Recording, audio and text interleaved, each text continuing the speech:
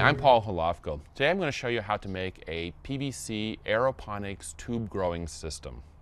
We start out with basically a six inch tube. This is a PVC tube that you can get in any hardware store. Some baskets.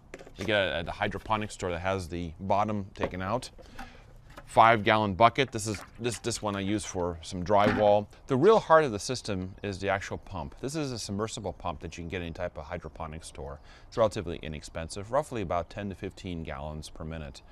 It's attached to a uh, uh, threaded connector and it goes into a half inch PVC.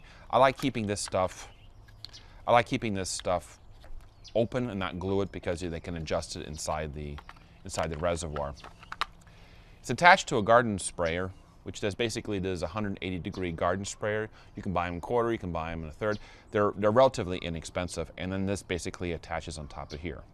Put this together, and you're ready off with the races for, for your reservoir. So for this whole thing to work, you really need to have the whole six inch pipes mounted at an angle. Put your tube where you have your sprayer here by mounting it here, or you can drill a hole and have it spray and make sure that the sprayer hits each basket, and then have everything then fall back into your reservoir where your pump is.